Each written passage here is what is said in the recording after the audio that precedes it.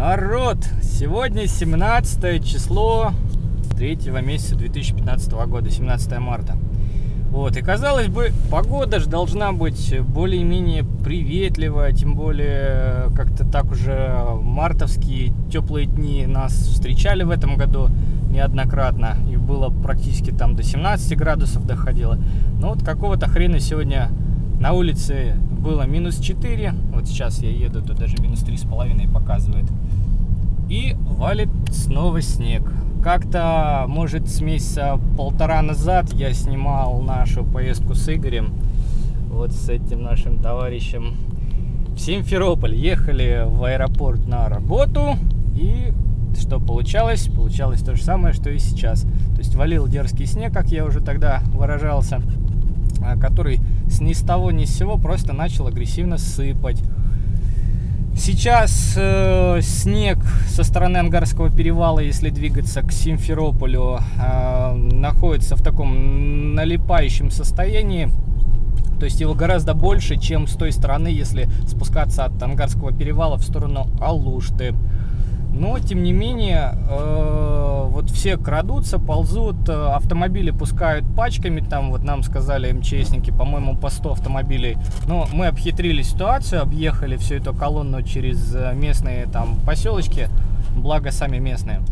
И, собственно говоря, сейчас абсолютно то же самое, что и в прошлом видео, которое называлось что-то про Ангарский перевал.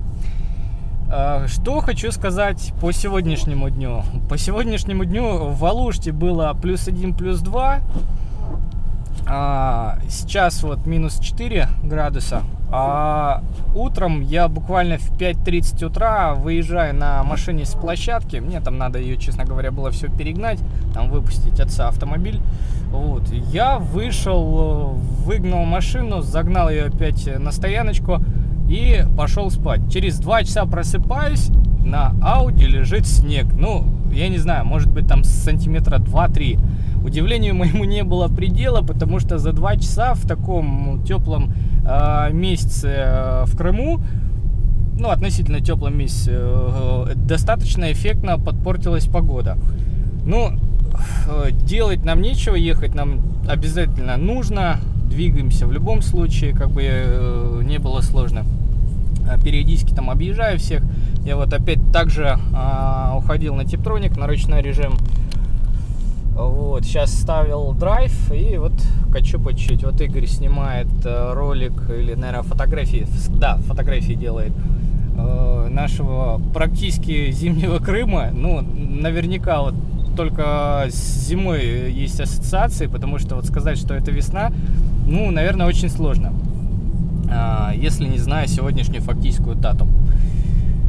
А, двигаясь к Симферополю, вторая половина а, подзаснежилась, причем так э, достаточно эффектнее, чем первая половина со стороны Алушты до Ангарского перевала, как я только-только про это говорил. Ну и снег пошел более глубокий, такой более крупный. Ползем по чуть-чуть, буквально там, ну, 50, 55, там 35 скорость, местами кое-где, э, в зависимости от дорожного полотна. И я еще просто не успел снять ранее, потому что, ну, как бы находился за рулем, объезжал там автомобили, не было мне возможности полезть в карман, вытащить камеру. Вот. Э, там было просто реальное количество автомобилей, которые стоят, их не пускают. Э, также, конечно, могли быть и мы в этой колонии, но мы обошли. Обошли это с другой стороны через поселок э, Нижняя Кутузовка и Верхняя Кутузовка. То есть э, нашу трассу Алушта-Симферополь с правой стороны. Там нарезали э, лишних, ну, будь здоров, там 2-3 километра. И вот по чуть стали в лидерах. Вот, подъезжаем к поселку Перевальное. Тут до него буквально осталось считанные минуты. Видим, что встречные автомобили по чуть пропускает с той стороны, точно так же, как э, и с этой стороны. Вот. И э, опять же упираемся в небольшое скопление транспортных средств с нашей части. Вот видим Hyundai Tucson. В простонародье он же Тушкан. За, за рулем сидит, скорее всего, барышня. Собственно говоря, на заднем стекле есть наклеечка такая, каблучок с явным предупреждением, что близко к ней подбираться не стоит.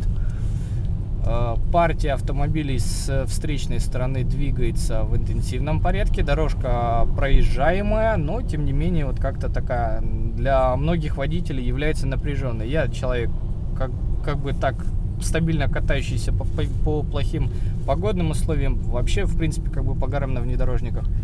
Вот, э, свободно, нормально ориентируюсь на этих э, таких вот дорожных ситуациях. Не парюсь, не волнуюсь, э, как некоторые делают. Ну, скажем так, все по-разному относятся к дорожным сложностям.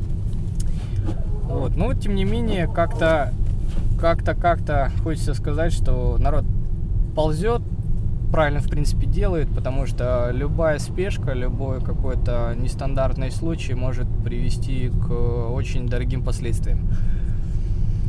Вот так вот. Ну, наверное, сейчас завершимся с этим видео, потому что э, потому что как бы снимать э, больше нечего. Тут все то же самое. Единственное, что добавился туман.